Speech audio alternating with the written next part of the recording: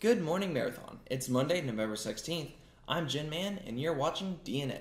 Please stand for the pledge. I pledge allegiance to the flag of the United States of America and to the republic for which it stands, one nation, under God, indivisible, with liberty and justice for all. Now back to you. Please be seated. Dr. Berlotti is selling Choose Kind masks for $15. She also has some colorful long sleeve shirts available. See her for more details. Middle school students, remember to have your planners out and open to the correct date so you can receive your stamps.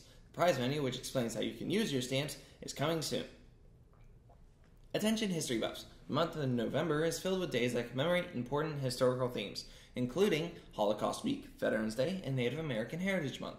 Check out the new displays in the Media Center highlighting these important events and topics. In sports, boys basketball starts their preseason tournament tomorrow in Miami. Girls basketball plays Florida Christian at home on 4, and on Wednesday, girls soccer plays at the community park on Friday against Palmer at 4:30. Don't forget the Media Center's weekly contest, Guess That Book. It is not too late to enter for this week. Stop by the Media Center today. Last week, the quote was, But I don't want a blueberry for a dollar. Three students entered, and we will draw the prize now.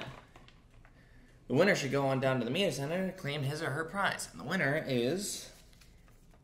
Connor Angerman. I'm Jin Man, and you've been watching DNN.